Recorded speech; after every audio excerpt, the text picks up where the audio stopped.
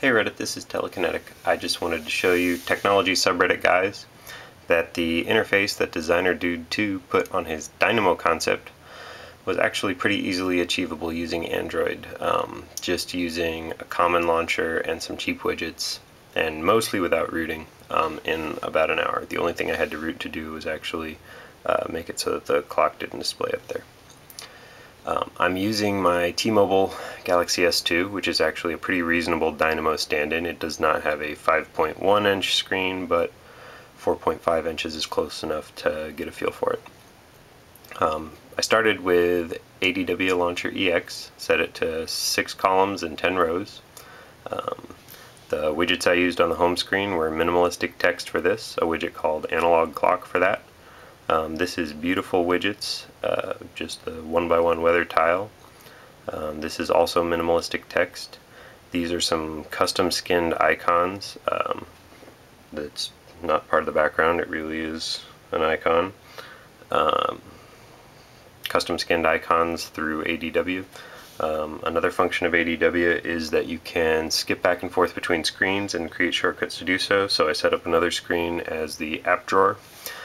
This is full of, um, uh, what do I want to call these? Uh, folders, folder spots. The, the actual widget name is folder organizer. Um, they scroll exactly like he uh, described.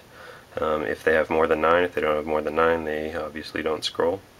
Um, everything, including the little labels, is part of the widget. Um, just as installed, I made a little custom skin internal to the widget, widget program so that it didn't have a background displayed.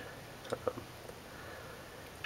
you know, whatever you think of the interface that designer dude designed, um, the fact that I could basically create a 100% working copy of it in about an hour is a good demonstration, I think, of just how uh, versatile Android theming has become. Um, additionally, uh, I didn't want to sacrifice my real home screens for this project, so I still have them running off to the side here. I just added a couple more screens to play with. So there's my real home screen. There's my real secondary screen. Those are the only two screens I ever run with. Um, and then uh, even more versatile than that, I still have a, uh, um, a copy of Launcher 7 running. Um, well, it's not running, it's just loaded up. Uh, if I ever want to pretend like I have a Windows phone.